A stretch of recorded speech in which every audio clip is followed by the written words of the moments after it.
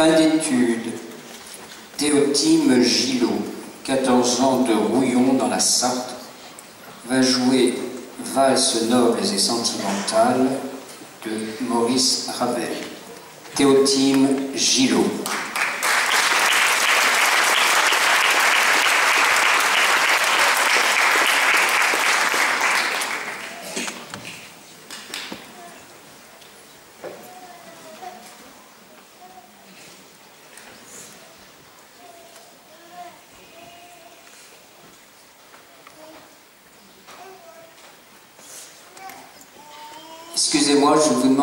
Quelque chose avec l'enfant parce que ça n'est pas possible là maintenant.